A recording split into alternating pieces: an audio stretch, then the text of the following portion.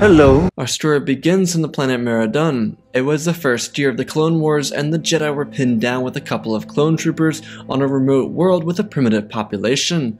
The people here were the Lurmen, and they had no intention of being around the Clone Wars, but the Separatist commander, Durd, was testing out a new experimental Separatist weapon. Currently, Anakin Skywalker was badly injured. He saved Aayla Secura, the few clones, and his Padawan from an explosion that ripped apart half of a Venator-class Star Destroyer only a day before. The crash landing didn't really help either, that came right afterwards.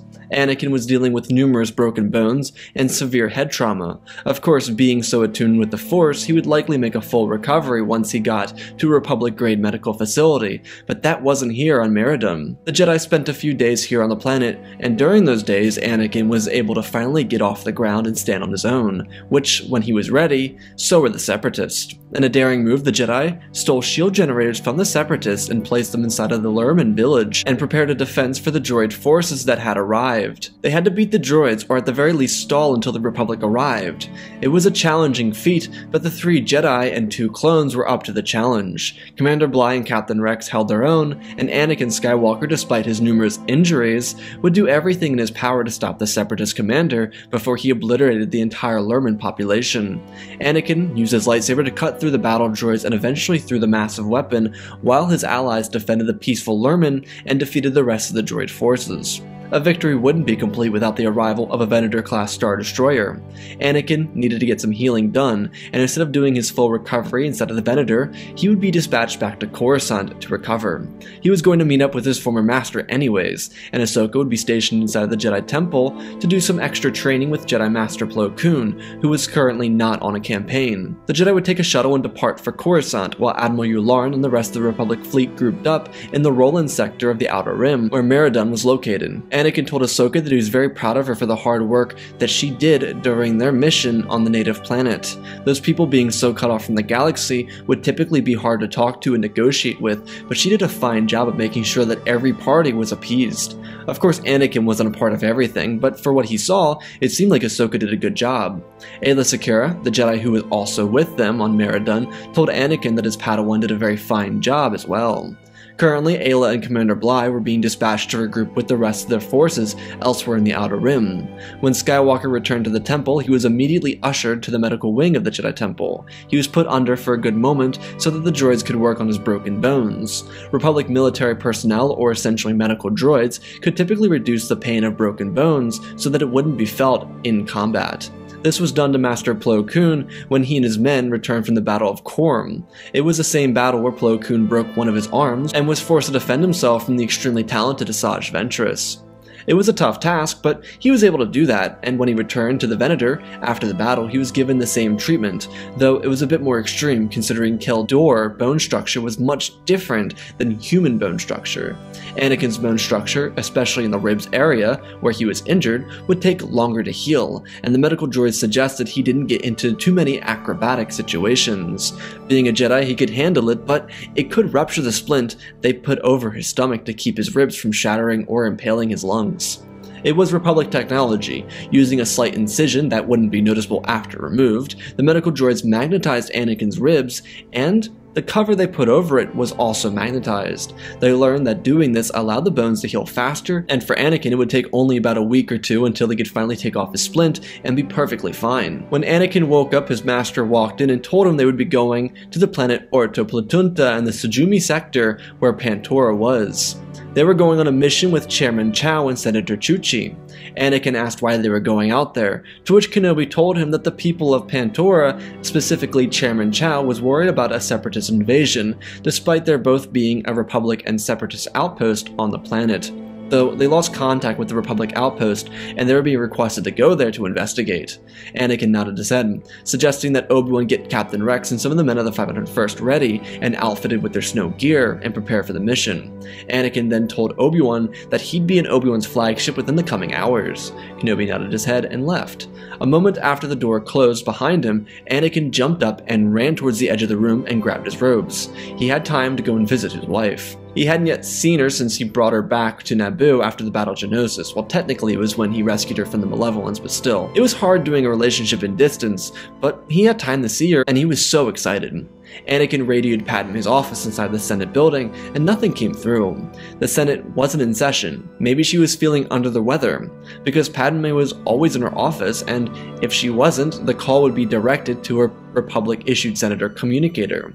That wasn't the case, so Anakin flew across the city to Padme's residence, where he docked on the side and walked in. Anakin saw Padme's stuff and knew that she was here, but what could she possibly be doing? There had to be something wrong. Anakin called out Padme's name, and there was not a sound. Anakin started walking into the main part of the complex, as he walked through the hallways heading towards Padme's room. When he got there, he saw her lying on her bed, completely asleep.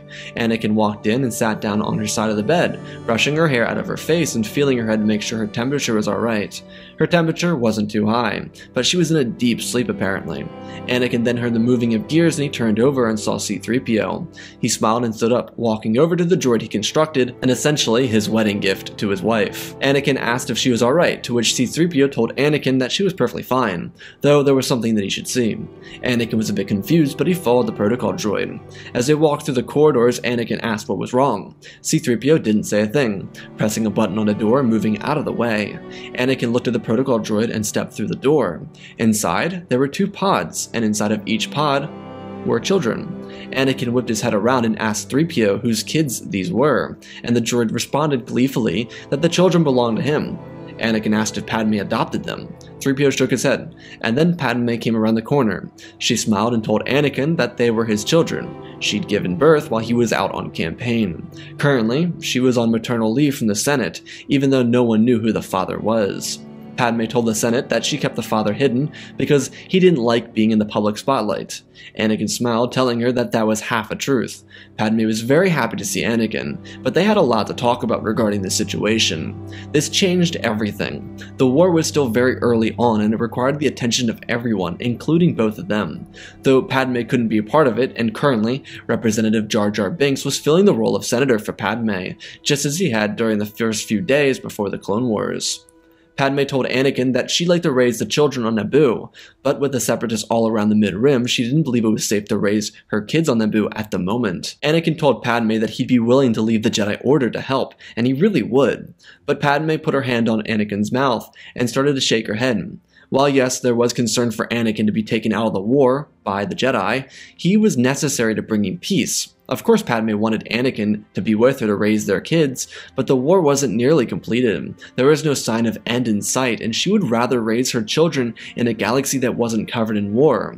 If the Separatists won, then her children would become slaves, and she didn't want that for them. Of course, that could be an exaggeration, but the Separatists were ruthless, and she didn't want to imagine what they would do in the circumstance they captured a Republic senator, let alone one they had tried to kill numerous of times before. Padme told Anakin that within a month she'd be able to actively serve inside the Senate again. They would have to be present in this war. They couldn't just not be. They had a duty to those who were helpless. Plus, C-3PO would be a perfect caretaker for the children. Anakin nodded his head. As he turned around and asked what their names were, Padme walked up to Anakin's side, wrapping her arm around him, and telling him that she wanted to wait for him to return so that they could name the children together. Anakin smiled and walked up to their little pods. He smiled and said the boy looked like a Luke. Padme nodded her head in agreement. As she spoke up, she then said that she would prefer if both the children had the same first letter of each of their names. They were twins, it would be nice to keep them kinda close. Anakin rubbed his chin. First he said Linda, Luna, Lucy. Something didn't feel right about those names, though Luna Skywalker did have a nice ring to it. Padme walked over and looked at the child, and said a couple more L names. Some of them were more common within mid-rim worlds, such as Naboo. She turned to Anakin and smiled. Anakin asked what the name was before Leia came out of Padme's mouth. It was a perfect name. It worked really well, too, because both Luke and Leia had four letter names. Anakin got a communication on his comlink. It was Obi-Wan. Kenobi told Anakin that they were preparing to jump to hyperspace. It was time to get to the flagship so that they could resolve this little problem on Orto Plutonia. Anakin told his master he would be right there. Anakin gave his love to his wife and his two new, sudden children and departed towards the flagship. During the entire mission to Orto Plutonia, Anakin was off of his game. It was a good thing he was off of his game here because had it happened elsewhere, like on a battlefield, he would have been in a struggle. The entire mission revolved around making a deal with a local population who was very, very primitive.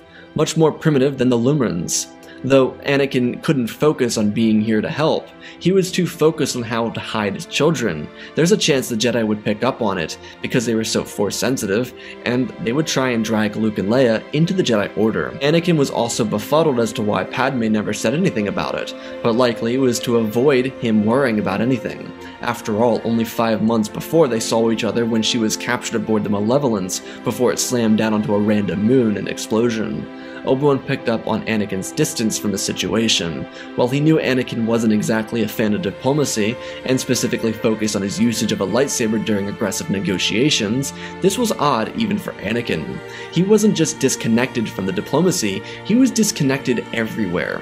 There wasn't a period since he arrived on the Venator of which he was normal by any means. Obi-Wan was mostly concerned if the war was taking a toll on Anakin's mentality, because the war was difficult on everyone, but most people didn't wear it on their sleeves, especially not their emotions the way Anakin did. Obi-Wan initially assumed that when he broke some of his ribs, that maybe Anakin was afraid of being killed in combat, but even he knew it wasn't that. With Anakin, it was always something deeper than what it initially seemed like on the surface level. When Anakin and Obi-Wan left the primitive camp, they told the chairman about the request made by the natives, to which the chairman objectively freaked out. He couldn't imagine bartering with animals that couldn't even speak Galactic Common, let alone use superior technology they were below him. He was insulted in the Jedi's way of thinking, but considering Chairman Chow thought that Orto Plutonia belonged to Pantora, he was willing to wipe out all these natives in an effort to claim his own presence over the planet just to prove a point about superior technology. The Jedi disagreed with it, and so did Senator Chuchi. This would lead into a destructive conflict that cost the lives of Chairman Chow, multiple or all of his guards, and several of the clone troopers that came here to aid. When everything was seemingly resolved, Kenobi took Anakin aside and began talking to him. He was worried about his former student. He didn't want Anakin feeling like he was alone in all this, and so he told his student that he would be here to help him if he needed it. Anakin pushed Obi-Wan away though. He didn't want to be forced from the Jedi Order, because there was no scenario in which Anakin would be able to effectively get away with having a family. Having two children, a wife, and being in love with them wasn't okay. Though maybe there was a way. No, there wasn't, never mind. The only way it would work is if, before Anakin could finish his thoughts, a communication came in from Naboo. Representative Binks had gone to the planet to investigate a weird occurrence that had been going on for a number of days. And then, it was awful. It wasn't just part of the planet, it was the entire planet, hit by a super weapon, though it wasn't meant to go off. Instead, it was an accident. The separatist doctor, Nuvo Vindi, was responsible for bringing back a virus that had been dead for millennia. It was specifically wiped out to ensure that it didn't continue to hurt people because it could infect every living being. The Blue Shadow virus was a virus that could infect anything that lived. When Jar Jar went out to investigate the issue, he went on a covert op in the forests of Naboo, where he was discovered by the Separatists. Though, being as clumsy as he was, he fell into a hole, kicking a blaster rifle, and then the blaster shot the little service droid that Dr. Vindi had around the lab. The droid dropped the bomb, and it exploded. Within moments, Dr. Vindi and Jar Jar were infected. Shortly after that, all of Naboo was exposed, and, not long after that, killed. The entire planet was being killed slowly but surely. The Blue Shadow virus didn't target anyone. It wasn't about survival of the fittest. Its only parameters were to kill, nothing less. And that's what it did. Republic executives watched as the planet died slowly. No one outside of the Republic military structure, the Senate, or the Jedi knew about this. They kept it on the down low, because how else could the Republic inform its people that a mad scientist released the most toxic weapon known in the galactic history on an entire planet?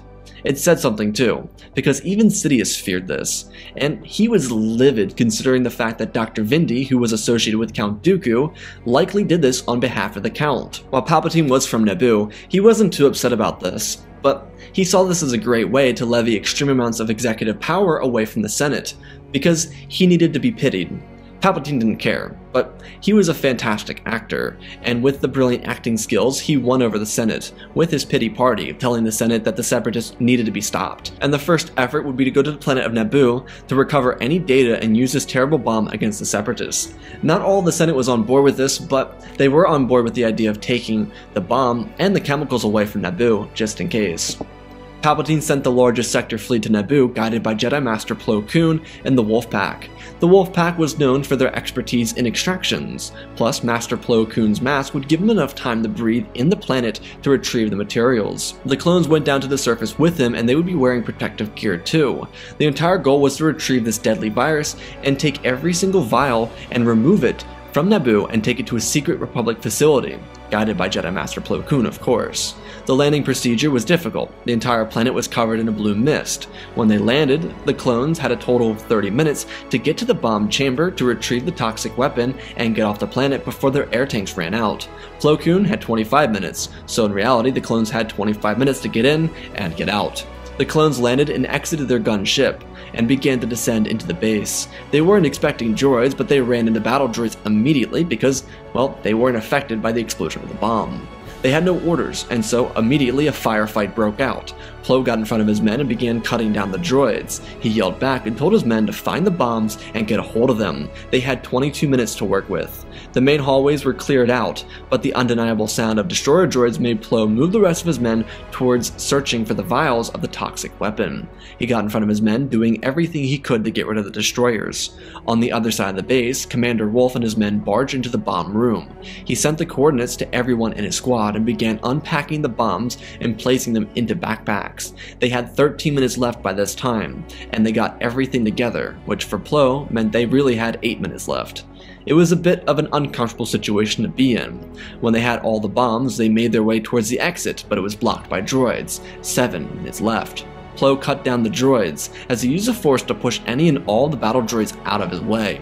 He got to the ladder and told his men to climb. He would be right behind them. Six minutes left. The men began to climb the ladder. The LAAT was nowhere to be found. Outside, there were more battle droids awaiting the clones, though they were hidden under the mist of the blue smoke. That meant the virus was getting thicker, and the LAAT was just hidden behind the smoke. The clones took cover and began firing. After all the men were out of the bunker, Plo jumped up and closed the latch behind him. Plo turned around and began helping his men with extracting themselves. Using his vision with the Force, and even through the darkness of the blue smog, he located the LAAT and told his men where to go and direction. Four minutes left. The clones fired away, cutting down the few droids they came across. Plo told the LAAT to take off. All the clones were on board, but he wasn't. He slashed away, and then when he saw the LAAT lift into the air, he leapt up with the force and landed in the doorway of the vessel, as the ship sped its way out of the planet's atmosphere to the Venator above. With all the Blue Shadow virus taken and captured, it was time the galaxy learned of what happened here at Naboo. 600 million lives were lost, and that wasn't even counting the millions of other life forms on the planet. It was just a catastrophic occasion, and for Palpatine, it worked in his favor. He could perpetuate the war to continue on longer, and now he had a weapon that he could use anytime, anywhere. The Blue Shadow virus was being transported to Mount Tantiss on Wayland, though Palpatine was very unaware that Jedi Master Plo Koon was going there as well. When Plo learned of Tantiss, he informed the Council about the fact that the Chancellor was keeping secrets from the Jedi, as well as giving precise location for this base and all the details he could find about it. Plo found this very peculiar. Anakin and Padme, on the other hand, were dealing with this crisis. Padme was still not allowed back into the Senate for maternity leave, and Anakin happened to be back on world. It was during the same period of time that bounty hunter Cad Bane held a number of representatives captive, so he get a hold of Ziro the Hutt for a bounty. Padme was terribly sad. It was an incredibly depressing time for her.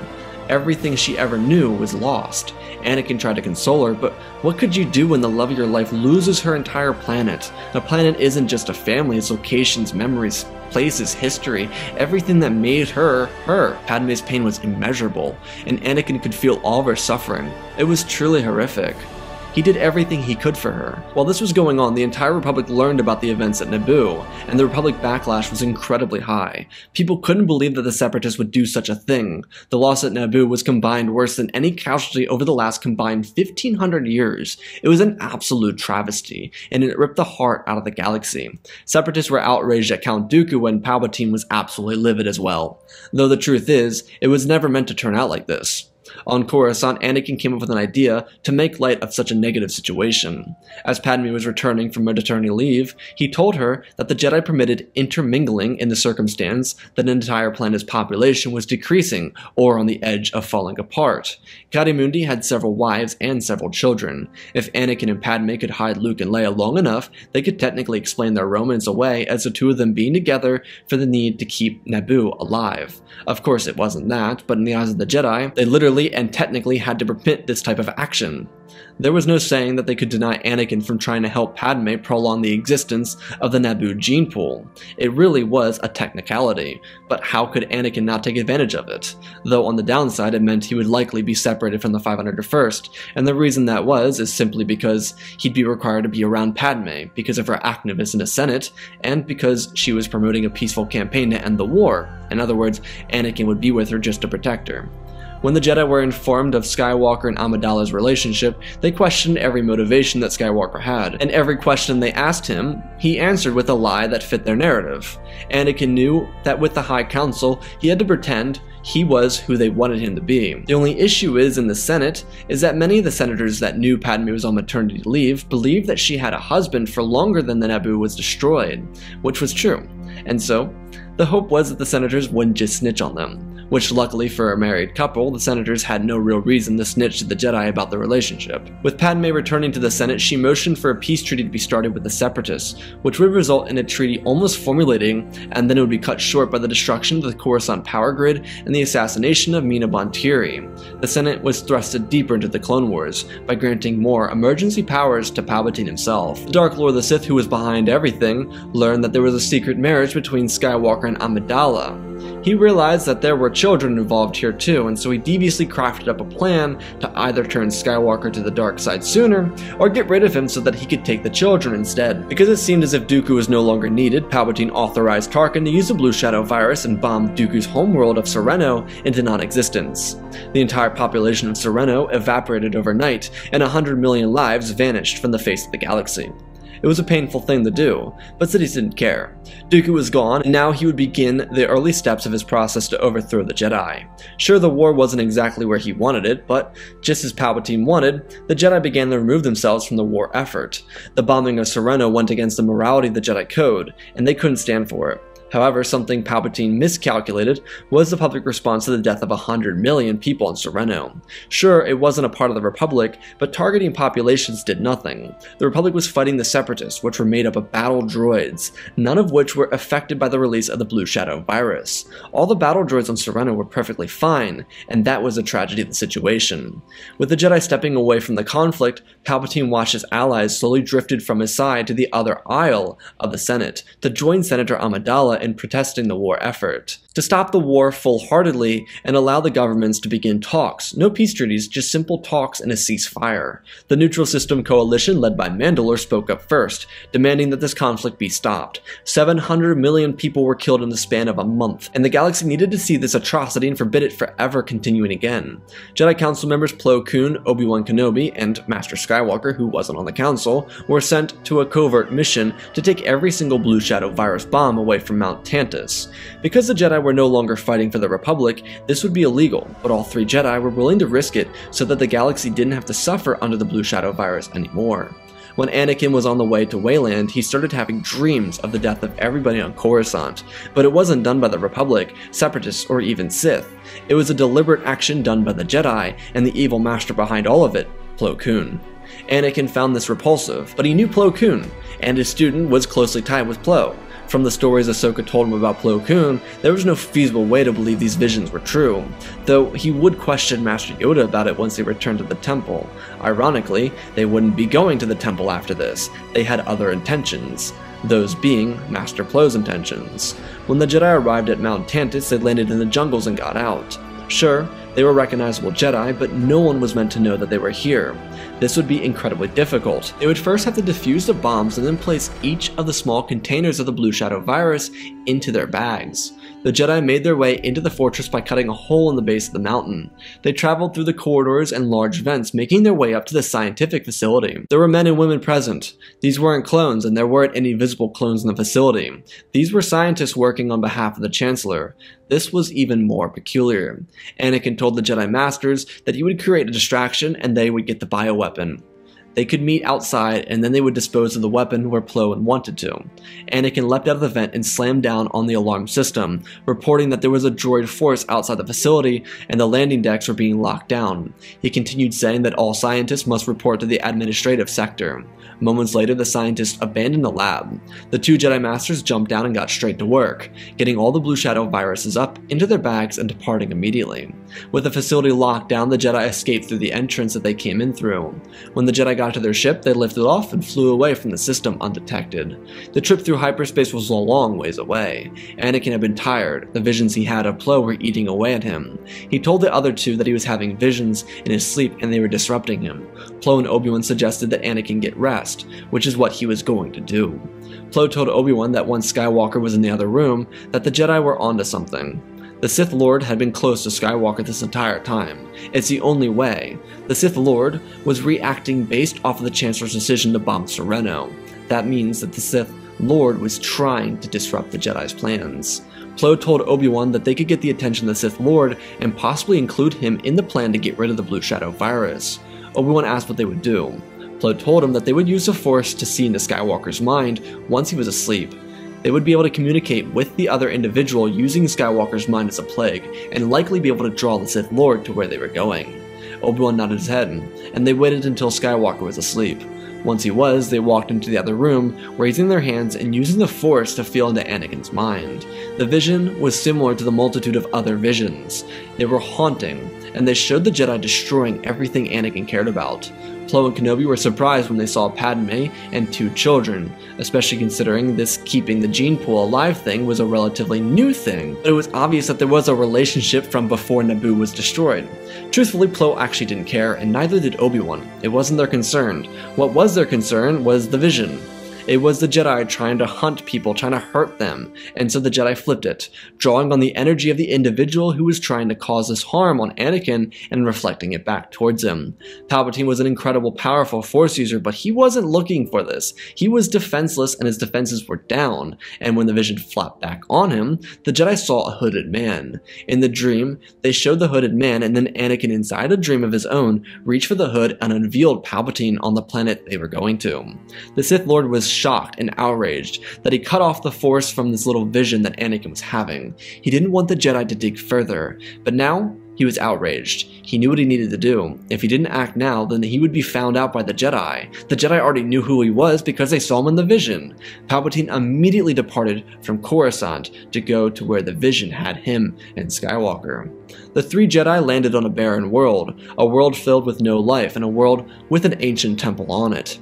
Anakin at this point was fully awake, but Plo instructed him to stay on the ship with the engines warm. Anakin found this a little disrespectful, but he listened. Kenobi and Plo took all the bags out of the ship and placed them on all the pillars in front of the temple, and then a Republic shuttle landed. Anakin peeked his head out of the vessel and saw a hooded man walk towards his friends.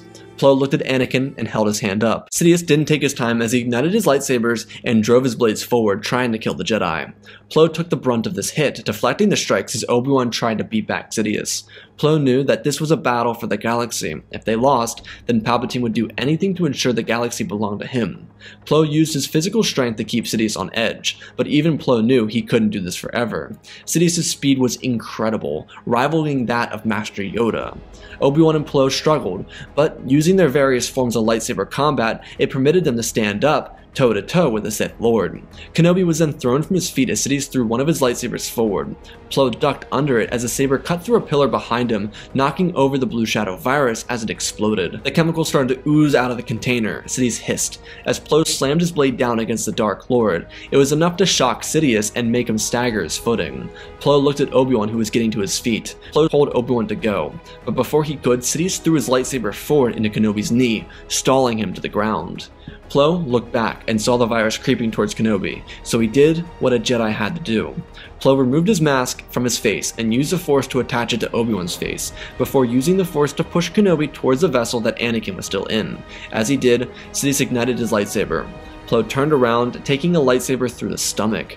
The Jedi Master grabbed Sidious's wrist, and with the tightest grip he could muster, he shattered the entire wrist of Palpatine, while holding the Sith Lord's blade in place inside of his stomach.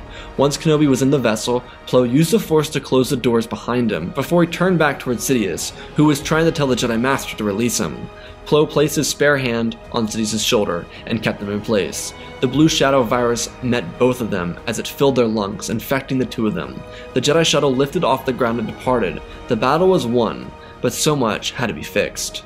Of course, with the blue shadow virus disposed of on Moraband, the home world of the Sith, there was no reason to assume the virus would ever return. With Palpatine dead, the Jedi and the Senate would collectively figure out that he was behind the Clone Wars, though it would take weeks of investigation. Though when Palpatine died, the Senate would elect a senator who would vie for peace. Both the Republic and the Confederacy were tired of this war. Both Serenno and Naboo became dead worlds, and the price of war wasn't worth it. On the other hand, the Jedi would remember the sacrifice of Master Plo Koon, and remember him for what he did for the galaxy. Obi-Wan would feel a bit of guilt for what happened, but the Sith Lord was dead, and he was glad that Plo could make that sacrifice, the sacrifice of a true Jedi. For Anakin, he would continue living this double life, though this time it would be open, it wouldn't actually be a double life. The Jedi would know, openly about his relationship with Padme. As for Luke and Leia, they would never be brought into the Jedi Order in accordance to Padme and Anakin's request that they be allowed to live their lives as normal people, especially to keep the Naboo gene pool alive. The Clone Wars would come to an end after months of peace debates on the peaceful planet of Mandalore. As for Skywalker's apprentice, she would eventually rise to the ranks of the Jedi Order to become Master Ahsoka Tano, in a galaxy that was forever changed without the influence of the Sith. And that, ladies and gentlemen, is our story. Again, special thanks to Benjamin Wells, Tiger Boy, Darth Revan, Pimp Daddy Bane, Darth Cheesy, Apollo, Mad, Nenix News, Anakin 003, Lemon Knight, Flynn Van Cease, and Lord Deadwing for supporting the channel. Hit 2,000 likes on this video. I don't know what's coming next, but it is. Let's talk about our story. This was fun. I hope you all enjoyed this. This was a um, um, this is something that obviously came from the comment section, but I I wanted to do something. Of course, I always say this. I say this every video, so I'm a broken record at this point. But I wanted to do something interesting. I always want to do something interesting. I always want to make these stories unpredictable, but also as fun as possible. And I thought this would be cool. I wanted the story to start off where you didn't know if she had given birth yet. I tried to set it up where it'd be like kind of nine months after you know after they got married. You know, had a little honeymoon fun. Anyways. I'm so weird. I'm sorry.